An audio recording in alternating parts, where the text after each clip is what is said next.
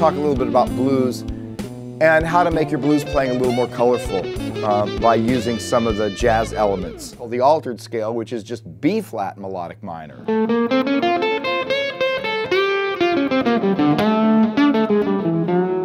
Resolve it to the third.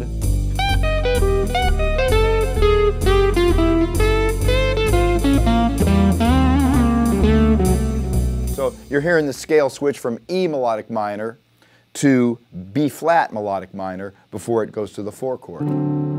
Using triads. There's these kind of things where you can go. Uh, so I came back to it like that. Um, I remember we, we used this one. That'd be nice. I could use it here.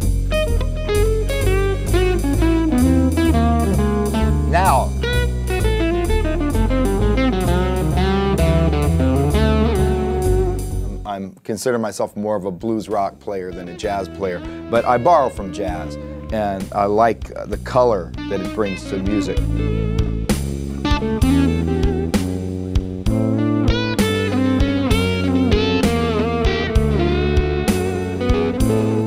Hear that little thing where I went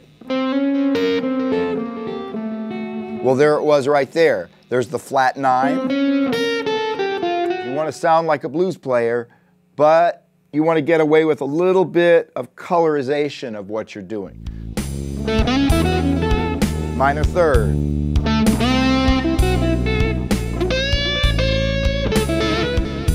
Blazing run in the wrong key.